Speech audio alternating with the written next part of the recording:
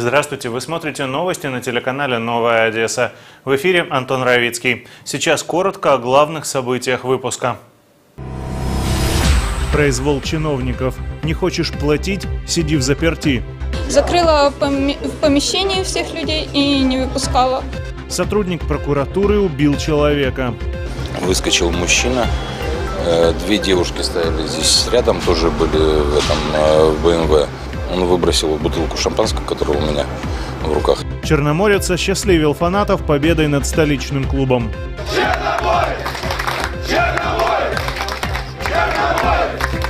Далее в выпуске об этих и других событиях. Убил человека, будешь сидеть дома.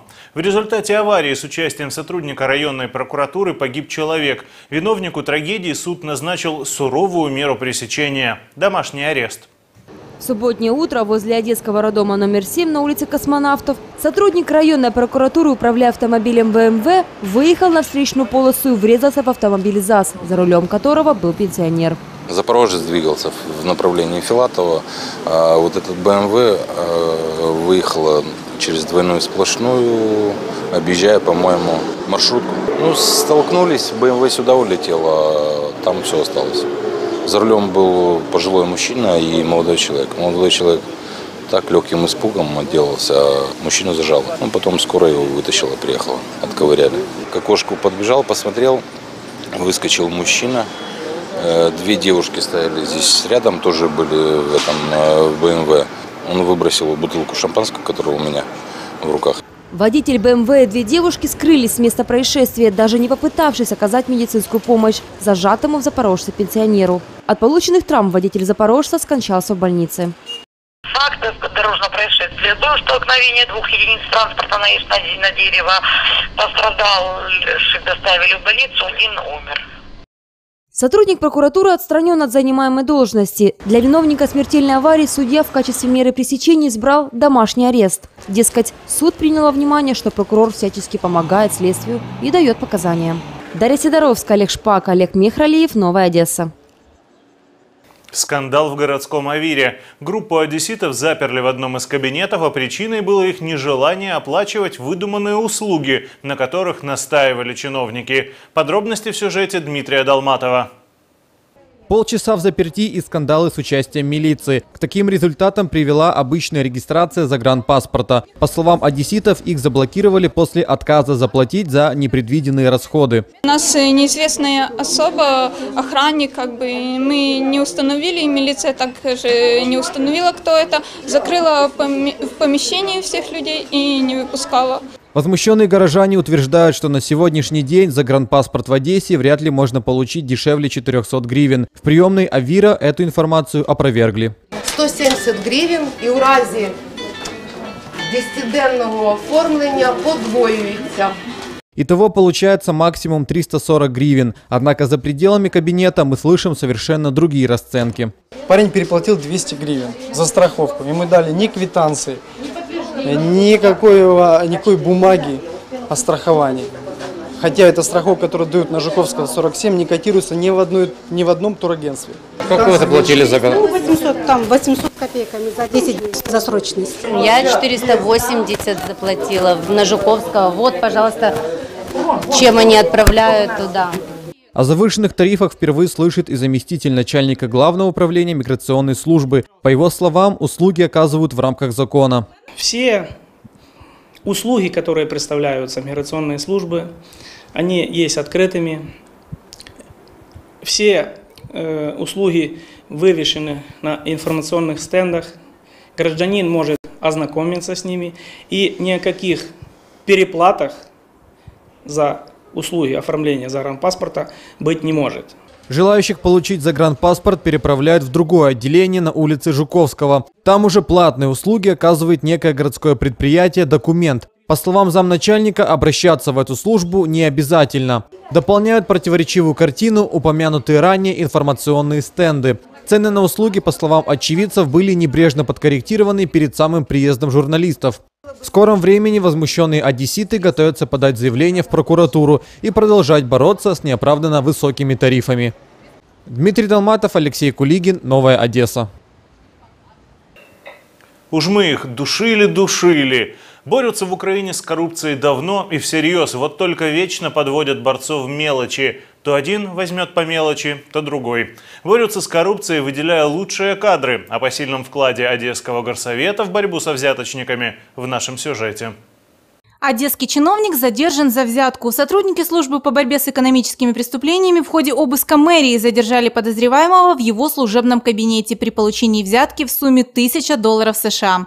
В настоящее время инспектору сообщено о подозрении в совершении преступления, предусмотренного частью 4 статьи 368 Уголовного кодекса Украины, и избрана мера пресечения в виде залога. Также судом инспектор отстранен от занимаемой должности на время досудебного расследования. Напомним, злоумышленник был выявлен благодаря звонку частного предпринимателя в Главное министерство внутренних дел Одесской области. Потерпевший заявил, что инспектор управления развития потребительского рынка Одесского горсовета вымогает у него деньги в размере 1000 долларов США за разрешение оставить подлежащий сносу ларек на территории города. За последние две недели это как минимум второй визит областных борцов с экономическими преступлениями в Одесское управление торговли. Предыдущий состоялся 25 июля. Напомним, совсем недавно городское управление возглавил Олесь Янчук, чья репутация достаточно неоднозначна. Летом 2009 года чиновник был задержан по обвинению в организации заказного убийства помощника нардепа Дмитрия Рустанова и провел два месяца в СИЗО. Однако затем вышел на свободу, а дело было прекращено. Минздрав предупреждает о вреде курения, а сотрудники милиции наказывают за незаконные поставки и производство табачной продукции. Милиционеры обнаружили 50 тысяч пачек сигарет без акцизных марок. Подпольную продукцию выявили сотрудники областного управления по борьбе с экономическими преступлениями на одном из складов на территории города. В ходе обыска был изъят товар на сумму 210 тысяч гривен. Образцы табачных изделий уже направлены в лабораторию, а тем, кто причастен к изготовлению или поставке нелегальной продукции, грозит штраф. Відповідно до частини першої статті 204 Кримінального кодексу України, подібні діяння караються штрафом від 1 до 2 тисяч неподаткованих мінімумів доходів громадян з конфіскацією незаконно виготовленої продукції та обладнання для її виготовлення. В результате пожара в Малиновском районе погиб человек. Горело здание по улице Академика Филатова, 58-2. Огонь охватил двухкомнатную квартиру на последнем этаже девятиэтажного здания. На месте работало пять пожарных машин. После ликвидации возгорания спасателями был обнаружен погибший хозяин квартиры. Предварительная причина пожара – неосторожное обращение с огнем. Кроме того, пожарные призывают одесситов не блокировать межквартальные проезды во дворах, так как это затрудняет работу спасателей. Сложность тушения пожара заключается в том, что подъезды к дому были частично ограничены железнодорожными блоками и большим скоплением автомобилей, а также э, тремя демонтированными пожарными гидрантами. В системе украинского здравоохранения старается прижиться институт семейных врачей. Доктор, который будет на первом рубеже сражения за здоровье, должен быть очень хорошо подготовлен, а значит необходим постоянный приток знаний и практических навыков. С целью поддержать уровень семейных врачей в Одесском доме медработников состоялось открытие цикла занятий при поддержке Министерства здравоохранения. Цикл занятий, который проводится в Доме медработников, предназначен для семейных врачей, желающих повысить уровень своих знаний о современных методах профилактики и лечения различных заболеваний. Мы эту школу сделали, школу практикующего врача, в первую очередь для семейных врачей. Есть узкие специалисты, которые работают по своим специальностям. Невропатолог, кардиолог, эндокринолог. И мы привыкли направлять пациента к ним. Но человек – это букет, он может болеть всем чем угодно. Он не должен ходить от эндокринолога к гинекологу, от гинеколога к невропатологу и так далее. Он должен получить максимум информации от своего семейного врача. Темы занятий школы будут касаться наиболее социально значимых заболеваний. Первое занятие школы практического врача в Одессе посвящено актуальной тематике сахарного диабета и гипертонической болезни. Сахарный диабет на сегодняшний день является одним из самых распространенных хронических заболеваний. Поэтому э, мы о нем говорим и проводим школы и занятия и с врачами, и с пациентами. В ходе занятия семейные врачи не только ознакомились с современным состоянием проблемы, но и на практике опробовали новые глюкометры. Всего за два дня около 200 медиков послушают лекции. В дальнейшем добавятся циклы занятий по онкологическим и гастроэнтерологическим заболеваниям. Занятия школы практического врача будут проводиться ежемесячно в форме познавательных лекций презентаций, практических занятий, консультаций ведущих специалистов. Дарья Сидоровская, Эдуард Шендрович, Новая Одесса. Впервые за 10 лет одесский черноморец обыграл киевское «Динамо». Не так много поклонников команды отправились в столицу, на стадион «Олимпийский». Статистика, бессердечная и безжалостная, была не в нашу пользу. Тем больше радости доставила выездная победа болельщикам одесской команды. О спортивных героях города сюжет Вадима Шпаченко. Одесса!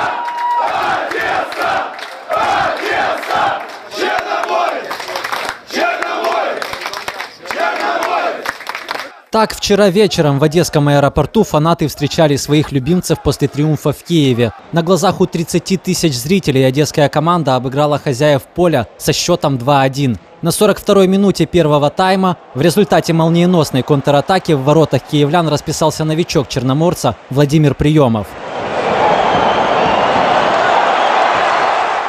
Не успели моряки насладиться лидерством в счете, как пропустили красивый, но совсем не обязательный гол. Отражая мяч, ошибку допустил капитан черноморца Дмитрий Безотосный. На 87-й минуте матча все были готовы к ничьей. Однако не тут-то было. Аргентинский полузащитник Пабло Фонтанелло добыл для моряков победу.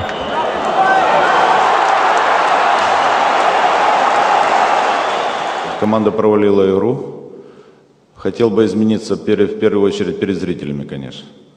30 тысяч приходят, а не знаю, надо разбираться, почему команда действительно не бежит и не играет.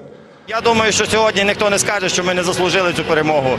Е, я просто е, кланяю своїм футболістам, бо вони ну, сьогодні вони просто заслуговують на то слово, що вони молодці. Уже 22 августа на этом стадионе одесский Черноморец встретится с футбольным клубом Скендербеу. Чемпион Албании – это последнее препятствие на пути моряков к заветной мечте, групповому этапу Лиги Европы. Вместе с болельщиками новых свершений ждут Вадим Шпаченко, Олег Шпак, Новая Одесса.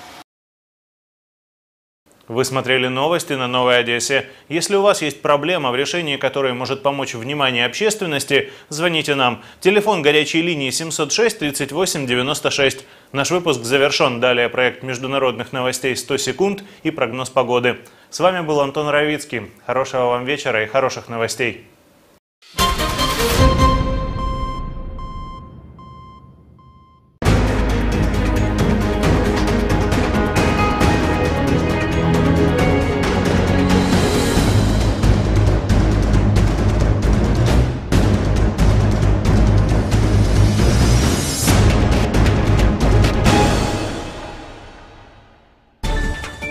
Количество погибших в результате взрыва в многоэтажном жилом доме в центре Луганска возросло до двух человек. Взрыв в Луганске произошел в воскресенье днем в районе шестого этажа 14-этажного жилого дома. Ударная волна повредила бетонные перегородки на пятом, шестом и седьмом этажах. Основная версия случившегося – взрыв бытового газа. По последним данным, число пострадавших составило 16 человек. Примерно 60 человек было эвакуировано. Два человека погибли, еще около 30 получили телесные повреждения при крушении международного автобуса на юге Франции. Авария произошла в департаменте ОТ. По данным полиции, автобус компании Евролайнс следовал из Марселя в испанскую Мурсию, протаранил защитный барьер и упал с обрыва. В салоне находилось 44 человека, включая туристов. Вину за аварию взял на себя 30-летний пассажир-украинец. У него с водителем-испанцем произошел конфликт, в результате которого наш земляк намеренно дернул руль на себя.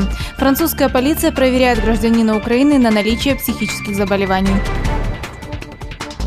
В аэропорту Мельбурна столкнулись два самолета. Boeing 737 авиакомпании Virgin Australia хвостом зацепил приземлившийся аэробус А320 компании Jetstar. По предварительным оценкам, сумма ущерба от столкновения 3 миллиона долларов. В колумбийском департаменте Антиокия водитель грузовика, не справившись с управлением, врезался в толпу митингующих шахтеров. В результате происшествия погибли 7 человек, еще 10 получили ранения. Прибывшие полицейские спасли водителя от демонстрантов, которые могли устроить над ним самосуд. На северо-востоке Венесуэлы пожарным удалось потушить огонь на одном из крупнейших нефтеперерабатывающих заводов, вспыхнувший из-за попадания молнии в резервуар с горючими отходами производства. Языки пламени поднимались на высоту до 30 метров. В целях безопасности власти эвакуировали жителей близлежащих районов. Сильнейший в этом году тайфун Ютор обрушился на филиппинский город Касигуран. В морских и аэропортах отменены рейсы. В районе главного острова архипелага нарушено электроснабжение и телефонная связь. Власти эвакуировали из зоны бедствия тысячи людей. Скорость ветра в эпицентре тайфуна достигает 200 км в час. В результате наводнения в одной из провинций Афганистана погибло 22 человека, в том числе 6 детей. Разрушен ряд жилых домов. Сельскохозяйственным угодьям в этом районе нанесен существенный ущерб. По информации кабульской полиции, причина стихийного бедствия – продолжительные проливные дожди, сопровождаемые градом. В понедельник в японской префектуре Коти столбик термометра достиг отметки плюс 41 градус по Цельсию. Это абсолютный температурный максимум для Японии за 52-летнюю историю ведения подобных наблюдений. С начала лета из-за тепловых ударов скончались 68 человек, более 32 тысяч госпитализированы. Французские фермеры забросали налоговых чиновников яйцами. 200 тысяч яиц были разбиты в знак протеста против низких закупочных цен, установленных Еврокомиссией. Фермеры угрожают продолжить акцию ежедневно разбивать по 100 тысяч яиц, что составляет 5% от всех яиц, производимых ежедневно в Бретоне. Инженеры из Швейцарии представили кота-робота. Над этим проектом они работали с 2008 года. Робот весит килограмм и способен за одну секунду преодолеть расстояние в 7 раз больше своей длины. Правда, в модели есть один минус – пока отсутствует голова. Использовать кота-робота планируют в спасательных и исследовательских миссиях. В ночь на 13 августа, когда Земля будет в основной зоне метеоритного потока Персеиды, можно будет наблюдать звездный дождь. По словам британских астрономов, это будет самый интенсивный звездопад в году. Каждый час в небе будут сгорать до 100 мелких метеоритов. Космическое представление начнется с наступлением сумерек и достигнет пика в предрассветные часы. Смотрите каждый час обзор главных мировых новостей в программе «День за 100 секунд» на телеканале «Новая Одесса». Прогноз погоди від страхової компанії Теком. Как сообщают синоптики, во вторник, 13 августа, в Одессе в течение дня будет ясно. Ветер северный 1,4 метра в секунду. Атмосферное давление 758 миллиметров ртутного столба. Относительная влажность воздуха 46%. Температура воздуха ночью 24-26, днем 26-30 со знаком плюс.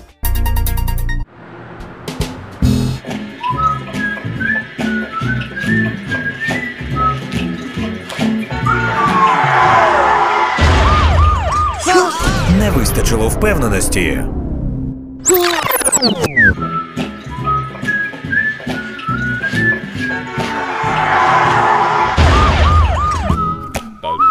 Страхова компанія Теком. Впевненість у квадраті.